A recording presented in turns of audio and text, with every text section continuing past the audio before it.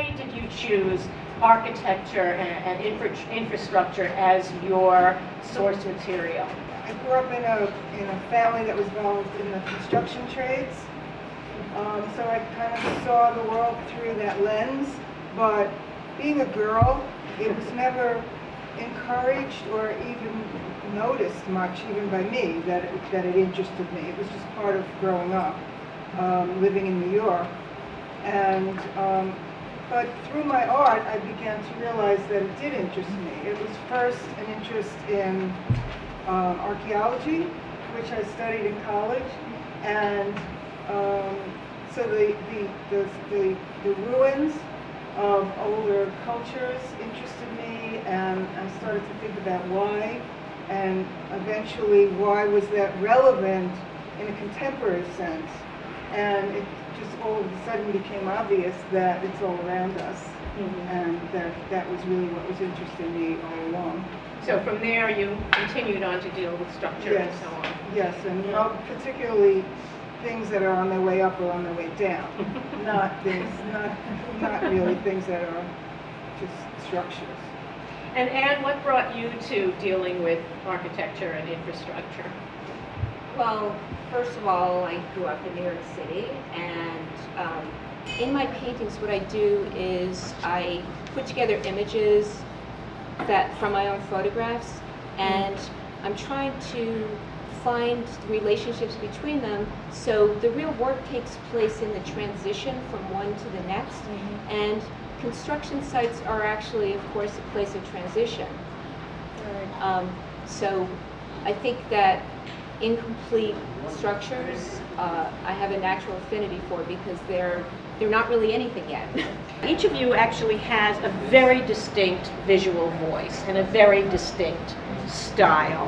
What is your relationship to each other's work when you're putting this exhibition together? What's your relationship to each other's work?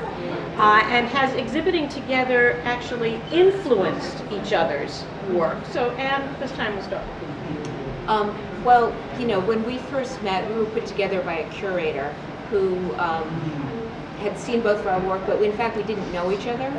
And when we started to put the show together, we found all these amazing coincidences because of course we had this whole body of work that existed and we saw that we had photographed some of the same things, we used some of the same colors, there were all kinds of structures that were common to both of us, so that seemed like a, kind of a wild coincidence, almost freaky.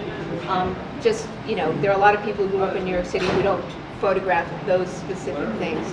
Um, but since we've met, we've become very conscious of these relationships. Um, so for example, there was a painting that Cora put in our previous show. There was actually three separate paintings in horizontal strips, and she hung them together. So I got this idea of stacking. And I, I took that idea of horizontal bands of things that are just stacked up on top of each other. Um, so that idea very much came from having seen Cora's work stacked that way. You know, artists are always influenced by everything that they see, and one of the things that we see in the last six months is each other's work. And this even extended to, I started really walking around with my camera as I do, and I, and photographing, but I photographed something I thought would be good for Cora to paint. Which I did. And she did. And actually, it, it, it found its way into that painting that is stacked. It's actually six separate panels, and each panel is representative of a different um, scene of an open floor under construction. And they're all from completely different places. Um, but one of them is, is actually the subtitle of it that is in my mind is From Anne. that was that was one of the photographs she sent to me, and you could figure out which one it was.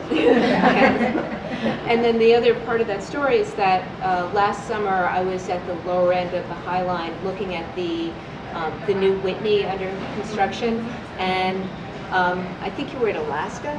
Um, I was. I, so I texted her saying, you have to come and photograph this. um, and I did, and I've done one painting based on that subject, which is the little one around the corner here. But um, when she got back from Alaska, she photographed it, and there are actually two paintings. You want to point out which two were from that? Yes, it's, uh, this is, that's Whitney under construction. One is that multiple uh, panel piece. Um, And this is Whitney under construction too, is this black one with the yellow band.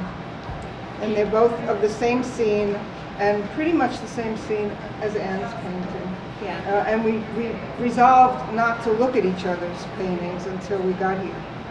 I work for my own photographs, which are um, digital, and I do studies of individual images. The first time that I combined them digitally, um, I was trying to save time. So I would just use Photoshop to figure out what went where. And then I kind of crossed over another line where I started making digital montages um, from directly from photographs.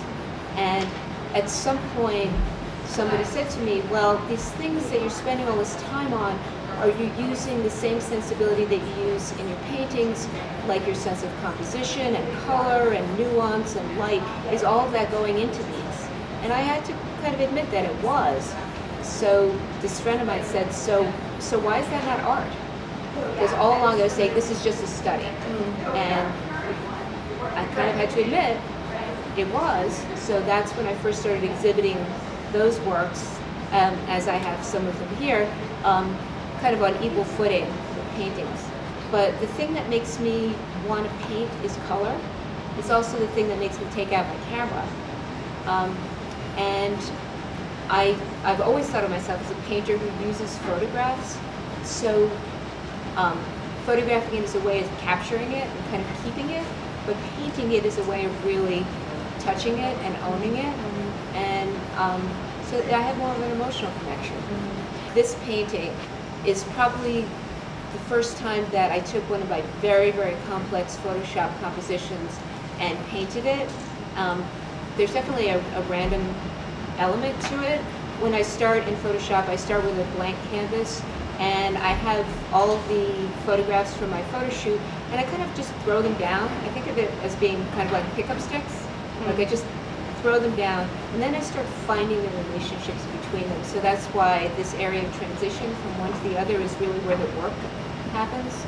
Um, I would say this is, up until this point, the most successful instance of putting together one of my really densely layered Photoshop compositions in, in paint.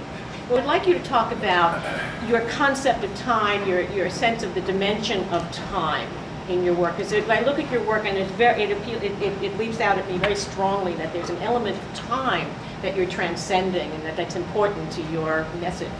Yeah, that's, I love that question. I really do, because, um, you know, I'm starting from the fact that, that the work is about, about this city.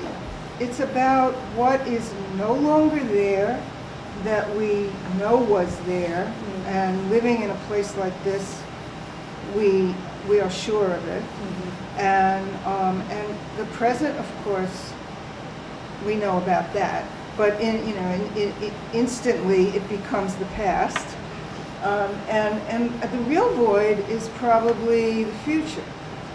That's really why I've begun to use black a lot as, as my, as my blank canvas. You think of black as being nothing, and then all, something is coming out of it.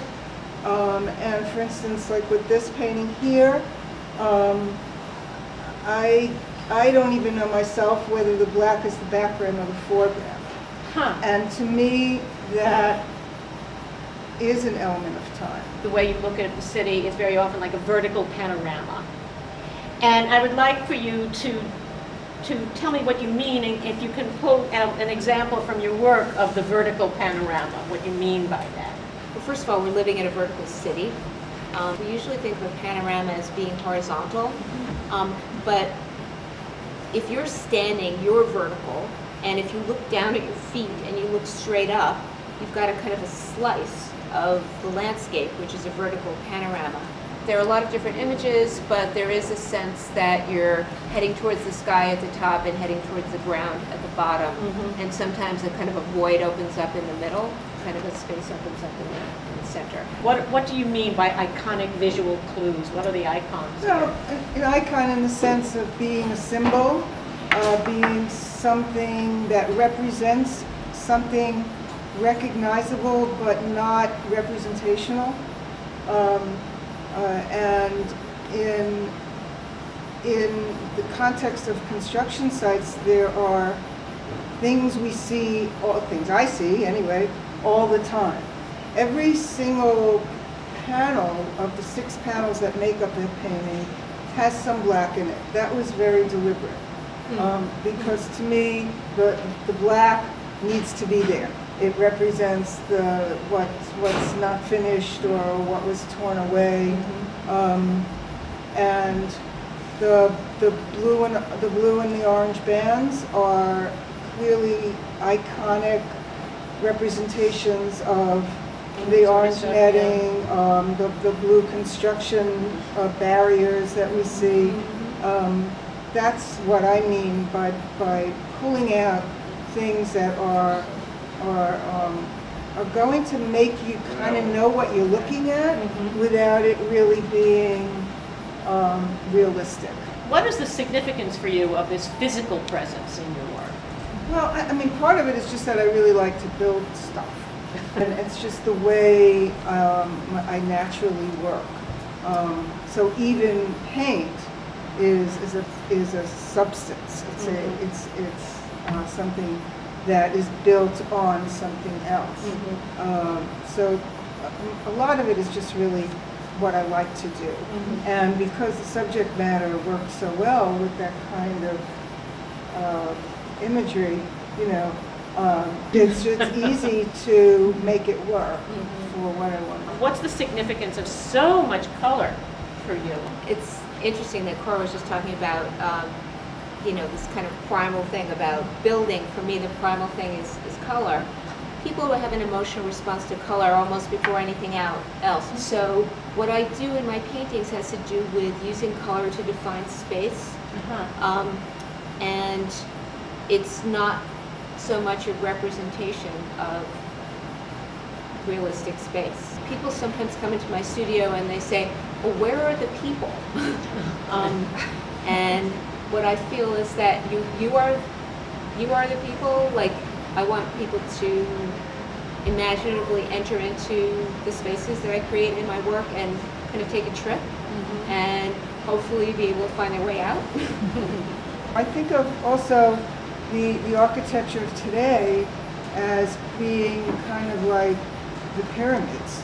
You know, I think if we were looking at the pyramids being built, um, comparing them to the brashness of this, of the things we build today, it's like, I think, I think we've got more nerve. It's really, it's unbelievable to me. So there's a certain sort of um, uh, wonder and awesomeness about it that is a trigger for me emotionally and, and visually.